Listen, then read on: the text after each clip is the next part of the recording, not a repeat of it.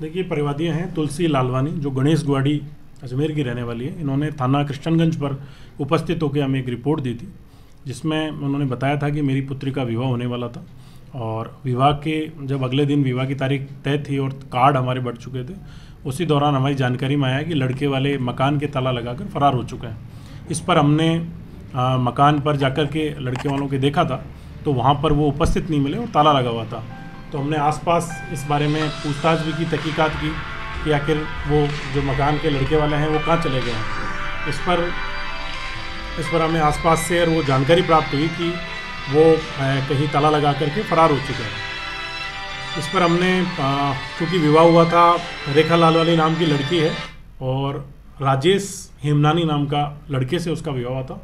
दोनों बेसिकली रूप से दुबई में रहते थे। दुबई में ही इन दोनों के बीच में बात हुई थी शादी को लेकर तो परिवार वाले, चूँकि यहाँ अजमेर के निवासी थे तो अजमेर में ही दोनों ने लड़का और लड़की का विवाह सुनिश्चित किया था।